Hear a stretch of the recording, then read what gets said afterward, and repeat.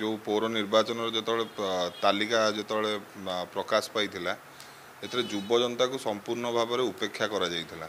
ଆପଣ ଦେଖିବେ ବିଗତ ଦିନରେ ଯୁବ ଜନତାର ସମସ୍ତ କର୍ମକର୍ତ୍ତା ବ- ଅକ୍ଳାନ୍ତ ପରିଶ୍ରମ କରି ଦଳ ପାଇଁ ବହୁତ ପରିଶ୍ରମ କରିଥିଲେ ଏବଂ ଅ, ଅ, କିନ୍ତୁ ତାଙ୍କୁ ସବୁ କ୍ଷେତ୍ରରେ ଉପେକ୍ଷା କରାଗଲା। ଗୋଟିଏ ମଧ୍ୟ ଟିକେଟ୍ ତାଙ୍କୁ ଦିଆଗଲା ନାହିଁ ଯୁବ ଜନତାକୁ। ଯାହାଦ୍ୱାରା ଯୁବର ଗୋଟେ ମାନେ ଯୁବକ ପିଢ଼ିମାନଙ୍କ ଭିତରେ ଗୋଟେ ଅସନ୍ତୋଷ ଗୋଟେ ଏଇ ପୌର ନିର୍ବାଚନରେ ଆସିଛି। ଯେହେତୁ ନଗର ସଭାପତି ହିସାବରେ ମୁଁ ଯୁବକମାନଙ୍କ ଦାୟିତ୍ୱ ନେଇଥିଲି। ସେଥିପାଇଁ ସେ ଅସନ୍ତୋଷର ସବୁ କାରଣ ମୁଁ ନିଜକୁ ଭାବି ଦାୟୀ ଭାବିକି ମୁଁ ନିଜକୁ ଦଳର ପ- ପଦ ପଦବୀରୁ ଇସ୍ତଫା ଦେଇ ଗୋଟେ ଶୃଙ୍ଖଳିତ ଦଳ କର୍ମୀ ହିସାବରେ ଦଳ ପାଇଁ କାମ କରିବି ବୋଲି ଭାବିଛି।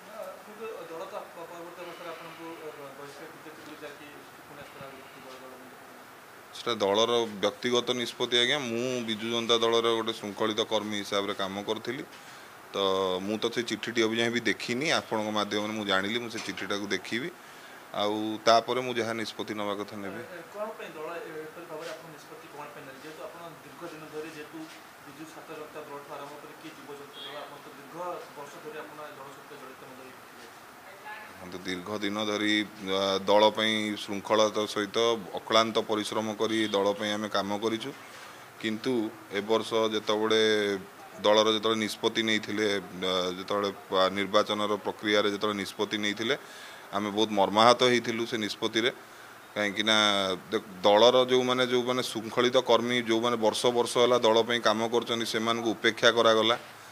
ଆଉ ଦଳରେ ଯେଉଁମାନେ ମିଶିଥିଲେ ଅଲଗା ଦଳରୁ ଆସିକି ସେମାନଙ୍କୁ ପା- ମାନେ ପ୍ରାଧାନ୍ୟ ଦିଆହେଲା ସେଥିପାଇଁ ଗୋଟେ ନ- ନିହାତି ଭାବରେ ଏଇଟା ଗୋଟେ ମାନେ ଗୋଟେ ରିଆକ୍ସନ୍ ହେଇଛି ଆମ ଯୁବ ଜନତା ଭିତରେ। ଆଉ ଯୁବ ଜନତାର କର୍ମକର୍ତ୍ତାମାନେ ବି ଗୋଟେ ଦୁଇ ଜଣ ଆମର ଭାଷା ଭାଇମାନେ ରିଜାଇନ୍ କରିଦେଇଥିଲେ।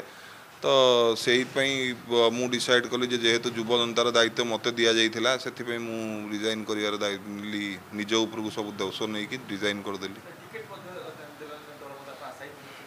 ନାଇଁ ନାଇଁ ମୁଁ ନା ସେଇଟା ସମ୍ପୂର୍ଣ୍ଣ ମିଥ୍ୟା ଇଏ ହେଉଛି ମୁଁ କୌଣସି ଟିକେଟ୍ ପାଇଁ ଆଶାୟୀ ନଥିଲି ତ ଯୁବକ ଯେଉଁ ଆମର ଯେଉଁ ଯୁବର ଯେଉଁ ଗୋଟେ ଦୁଇ ଜଣ ଯେଉଁ ଆଶାୟୀ ଯେଉଁମାନେ ଟିକେଟ୍ ପାଇଁ ଲବି କରିଥିଲେ ସେମାନଙ୍କୁ ଉପେକ୍ଷା କରାଯାଇଥିଲା ତ ସେଥିପାଇଁ ମୋ ଟିକେ ଖରାପ ଲାଗିଥିଲା ଯେ ଆମର କୌଣସି କଥା ବି ରହିନଥିଲା ତ ସେଥିପାଇଁ ଏପରି ସମୟରେ ଆପଣ ଦଳରୁ ଯେତେବେଳେ ଇସ୍ତଫା ଦେଲେ କ'ଣ ଲାଗୁଛି ଯେହେତୁ ପୌର ନିର୍ବାଚନ ମୁଣ୍ଡ ଉପରେ ତ ଦଶ ଦିନ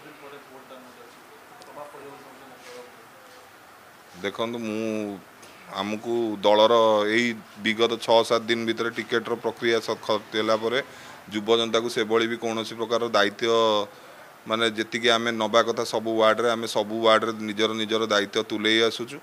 କିନ୍ତୁ ଅସନ୍ତୋଷ ବହୁତ ଅଧିକା ହେଉଛି ପିଲାଙ୍କ ମଧ୍ୟରେ ସେଥିପାଇଁ ତାଙ୍କୁ ବୁଝେଇବାକୁ ତ ମୋତେ ହିଁ ପଡ଼ୁଛି ସେଥିପାଇଁ ମୁଁ ନିଜେ ନିଜକୁ ରିଜାଇନ୍ କରିଦେଇକି ଗୋଟେ ଶୃଙ୍ଖଳିତ କର୍ମୀ ଭାବରେ କାମ କରିବାକୁ ଚାହୁଁଛି।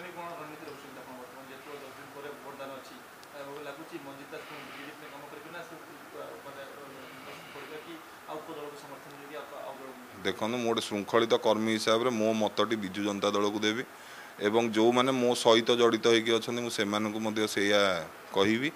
କିନ୍ତୁ ତାପରେ ଅନ୍ୟମାନଙ୍କର ନିଷ୍ପତ୍ତିକୁ ମୁଁ ତ ସମସ୍ତଙ୍କ ଇଏକୁ ଦେଖିପାରିବିନି ତ ସେଥିପାଇଁ ମୁଁ ସେ ବିଷୟରେ ଆଉ କ'ଣ କହିପାରିବି? କ'ଣ ଲାଗୁଛି କିଏ ଅଣଦେଖା କିଏ କରୁଛି? କାହିଁକିନା ଯେହେତୁ ଦଳୀୟ କର୍ମୀ ଯେଉଁ ପୁରୁଖା ଆ, କର୍ମୀ ଥିଲେ ଦଳର ସେମାନଙ୍କୁ ବର୍ତ୍ତମାନ ଅଣଦେଖା କରୁଛନ୍ତି ଆମେ ମଧ୍ୟ ଅନେକ ସମୟରେ ମଧ୍ୟ ଦେଖିଛୁ। ଯେଉଁମାନେ ଅନ୍ୟ ଦଳ ଅଛି ତାଙ୍କୁ ଅଧିକ ଆ, ସେଠି ଆ, ପ୍ରୋତ୍ସାହନ ଦିଆଯାଉଛି ତାଙ୍କୁ ଗୁରୁତ୍ୱ ଦିଆଯାଉଛି। କାହିଁକି ଏଭଳି କିଏ କରୁଛି ସବୁ କିଛି ସଂକ୍ଷିପ୍ତ ଲୋକ ଅଛନ୍ତି ଯିଏ ନିଜର ପ୍ରାଧାନ୍ୟ ପାଇଁ ଦଳର ଯେଉଁମାନେ ଶୃଙ୍ଖଳିତ କର୍ମୀ ଯେଉଁମାନେ ଆଗ ଧାଡ଼ିର କର୍ମୀ ସେମାନଙ୍କୁ କିଭଳି ଭାବରେ ପଛକୁ ପେଲି ଦିଆଯିବ ସେଭଳି ଚକ୍ରାନ୍ତ କରୁଛନ୍ତି।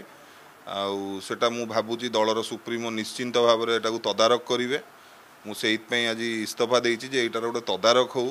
ବିଜୁ ଜନତା ଦଳର ଆକ୍ଚୁଆଲି ଯେଉଁମାନେ ବିଜୁ ଜନତା ଦଳ ପାଇଁ ଗ୍ରାସରୁଟ୍ରେ ଖଟୁଛନ୍ତି ବର୍ଷ ବର୍ଷ ଧରି ବିଜୁ ଜନତା ଦଳକୁ ମଜବୁତ କରୁଛନ୍ତି କିଭଳି ଭାବେ ସେମାନେ ଆଗକୁ ଆସିବେ ଏବଂ ଦଳର ସୁପ୍ରିମୋ ମାନ୍ୟବର ମୁଖ୍ୟମନ୍ତ୍ରୀ ନବୀନ ପଟ୍ଟନାୟକଙ୍କୁ ମୋ ଉପରେ ବିଶ୍ୱାସ ଅଛି। ସିଏ ସମୀକ୍ଷା କରିବେ କି କୋ- କିଏ ଭୁଲ କରୁଛି କିଏ ଠିକ୍ କରୁଛି ଏବଂ ନିଶ୍ଚିତ ତଦାରଖ ହେବ ଏବଂ ସିଓର ଯେଉଁମାନେ ସବୁ ଚାଲି ଯାଇଛନ୍ତି ଅବା ରାଗି ଯାଇଛନ୍ତି ସେମାନଙ୍କୁ ଦଳକୁ ଫେର ଘର ବାହୁଡ଼ା କରିକି ସେମାନଙ୍କୁ ଫେର ଦଳର ମେନ୍ ଷ୍ଟ୍ରିମ୍କୁ ଅଣାହେବ ଲାଗୁନି କି ଏଇ ଜିନିଷଟା ବର୍ତ୍ତମାନ ପ୍ରଭାବ ପଡ଼ିବ ନିର୍ବାଚନ ଦେଖନ୍ତୁ ପ୍ରଭାବ ପଡ଼ିବ ଦଳ ବିଜୁ ଜନତା ଦଳ ଗୋଟେ ବଡ଼ ପରିବାର। ଆମେ ତ ସଂକ୍ଷିପ୍ତ ଆମେ ତ ପୁରା ନିମିତ୍ତ ମାତ୍ର। କିନ୍ତୁ ଆମେ ତ ଅବି ବି ଦଳ ସହିତ ଅଛୁ ଆମେ ତ କେଉଁ ଦଳ ପଲିଟିକାଲ ପାର୍ଟି ମୁଁ ଜଏନ୍ କରୁନି। କି ଦଳକୁ ପ୍ରଭାବ ପଡ଼ିବ ମୁଁ ନିଶ୍ଚିନ୍ତ ଭାବରେ ଦଳର ଗୋଟେ ଶୃଙ୍ଖଳିତ ସୈନିକ ହିସାବରେ ଦଳ ପାଇଁ କାମ କରିବି। ଏବଂ ଯାହା ବି ନିର୍ଦ୍ଦେଶ ହେବ ଦଳର ମୁଁ କରିବାକୁ ରାଜି ଅଛି।